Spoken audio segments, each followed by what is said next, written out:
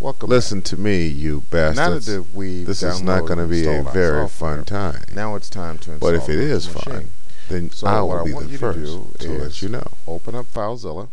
You should have it. I'm clicking on the Start menu. You should have it either pinned to the Start menu, or you'll find it in all programs, and you're looking for the client. Okay.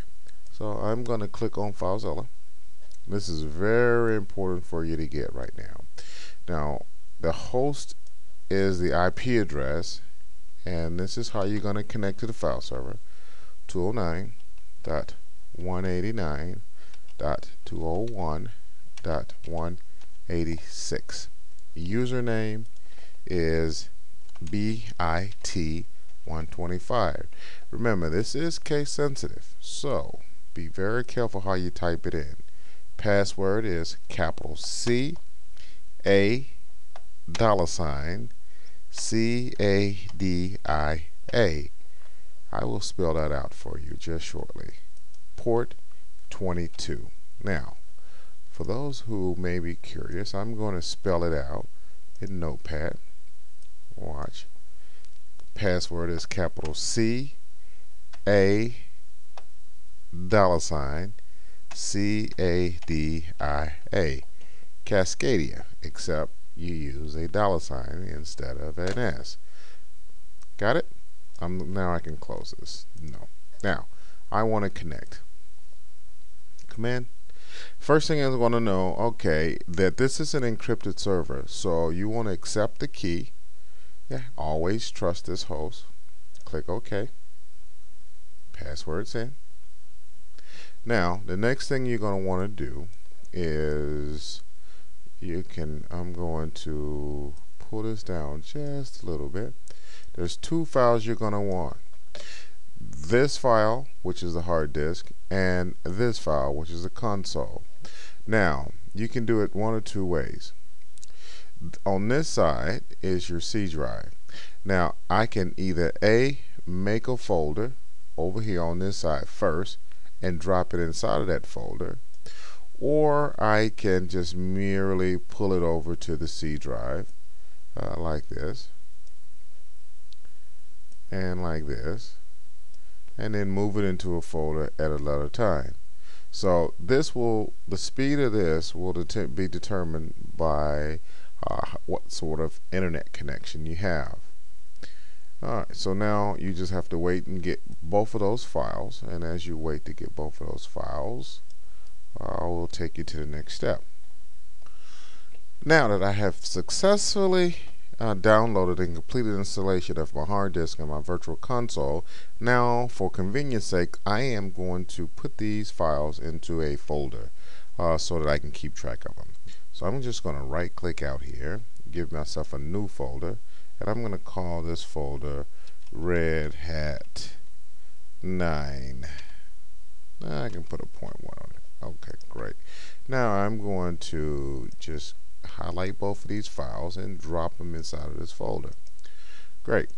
Now I know that on the C drive I have a folder with the hard drive and that console inside of it. I'm going to close this window. Now I'm going to start my virtual machine. Okay. Virtual PC starts up. It says welcome to new virtual machine. It doesn't have a virtual machine so it's going to want to know well what do you want to do? Well you have three options. The first option is to install a virtual machine if you were going to do a brand new installation from the CDs that's included with the book. And that is an option you can do as well. However, what I would suggest you do is add a virtual machine and you got it. The one you're going to add is the one you just download. So I am going to browse to it. It is located on the C drive, I know because I put it there in a folder called Red Hat 9. Notice I dropped, I got the virtual console. I am going to click OK. And you also notice that the next thing, it's it found the hard drive, which is also located in that same folder. Now, one other thing I want to point out is the memory. Notice I only have 256 megabytes allocated for this particular virtual machine. So I think that because I have almost 2 gigs, I can give myself a little bit more to that virtual machine. theoretically, the more RAM you allocate to the virtual machine, the better it runs. Theoretically, that's not always true. All right, click OK. Now the only thing left to do is, I've got it here, is to just click Start. And notice that it comes up, it's 512 megabytes of RAM, and my installation process is about to start. All I can just hit Enter, and the kernel's uncompressing and my operating system is starting to install. Now all I have to do is wait through it to go through all the system checks before I can actually log in. Great. Now that you've successfully installed, you should notice uh, a field that looks very similar to this. Now what I want you to do is go ahead and log in and the account that's created for you is first one is called C. C G I L L A Y. Enter. Password is password. P A S S W O R D. Remember, Linux is case sensitive. So you will definitely have to type it correctly or you would have nothing but problems. Okay, now I'm going to do ls dash la. That's going to show me what's all in C Gillay's home home directory. Now, um, I could show you more, but we'll save that for later. Uh, by the way, let me tell you what root's password is. Root has all of the power, and root is the administrator on the account, and that's R O O T. And what you do actually is you go SU for switch user, and that's all you have to type.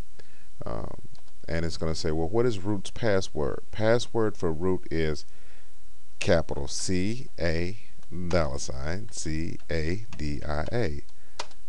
Does it sound familiar? Great. Now I'm going to do ls dash la and it shows me that uh, I am still in uh, that directory and now the only difference is you notice at the prompt it's root when I was logged into cgillay it was actually uh, cgillay was there and I think you're ready to begin. Now I'm just going to get out, exit, exit, and I'm out. Just like that. Now, Happy selling.